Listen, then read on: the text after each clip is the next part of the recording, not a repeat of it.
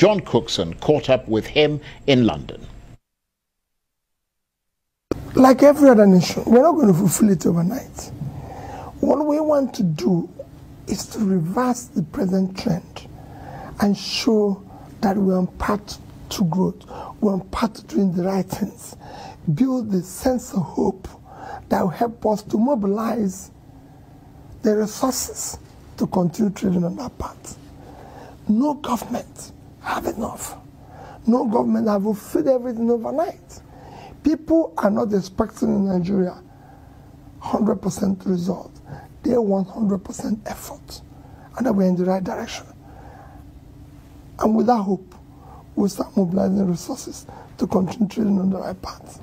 Now, there are millions of more voters this time than, than before. I, I, think you mentioned 12 million more voters. How, how, how, can you be sure that these young people who traditionally don't vote actually go to the polling booths and vote? And vote, vote, vote because of what they're going through.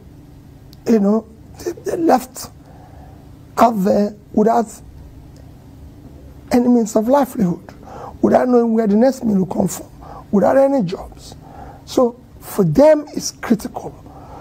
But I, they, they most of them are running for presidency through me. And my promise is that I will not let them down. We must build a Nigeria where they will be proud to see their Nigerians. And that's what I want to do.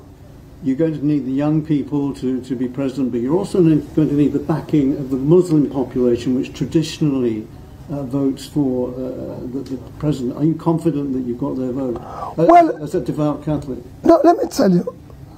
There's no religion in Nigeria that is not suffering. There's nobody that buys bread cheaper. Everybody's going through the same problem. The Muslims don't have uninterrupted electricity. They don't have good roads. They don't have good schools. when universities closed down, the Muslims, the Christians, everybody, the same thing. So religion is not an issue. It's an elite conspiracy to continue to be in power. That is not the issue today. The issue today is how do we mobilize the young people, Muslims, Christians, everybody alike, to ensure that we have good governance. A governance that cares for everybody, Muslim and Christians alike. And that's what we're going to do. Now, when you become president, what's your foreign policy as far as the UK is concerned? Uh, will there be more trade between the two countries? We'll maintain the same relationship as it is today and enhance it. Enhance it. But that will be first. We need to deal with domestic issue because your foreign policy is more robust when you have domestic stability, which is what we're going to do first and be able to build an economy that is more robust domestically and then be able to export more, build more relationship. UK being our traditional partners, of course, we've had a long relationship and um, it will remain the same. What's your number, what, what's your number one priority? Uh, you know, what do you want to achieve within the 100 days? Well, it's not about what I'm going to achieve in 100 days. It's about bringing government that people can trust. Of course, we're going to focus on fighting and ensuring that we secure the country, dealing with issues of rule of law, bringing civility and order in the system. A major speech, of course, delivered by Peter Obi at Chatham House. How did he come across?